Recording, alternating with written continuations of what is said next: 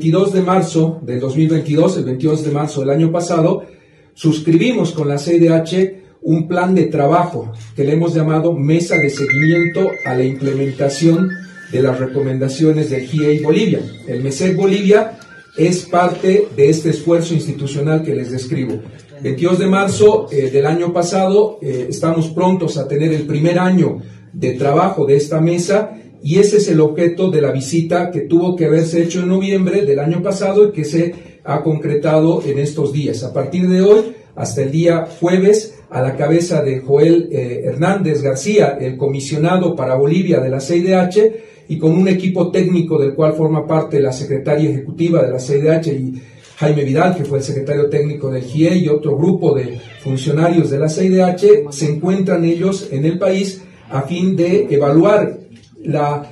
el avance de las recomendaciones del GIE y posteriormente lograr eh, la socialización de esa evaluación. Ellos van a tener reuniones con una serie de personas eh, del, país, con las víctimas de Sacaba, de Sencata, con víctimas del, sur del país. El día de hoy van a eh, iniciar su agenda de reuniones visitando también a la Defensoría del Pueblo, a embajadas, a diferentes entidades de la sociedad civil boliviana y continuarán su trabajo el día de mañana eh, en la ciudad de Sucre. En la ciudad de Sucre se reúnen con el fiscal general del Estado, con el eh, Tribunal Constitucional, el Tribunal Supremo, las entidades de la justicia boliviana, grupos de víctimas del sur del país, eh, vocales de, tribunales departamentales electorales y concluyen la jornada de trabajo el día jueves, las jornadas de trabajo el día jueves con reuniones en la ciudad de La Paz, con parlamentarios de la oposición boliviana, con eh, grupos de la sociedad civil que tienen que ser escuchados en este ámbito plural que tiene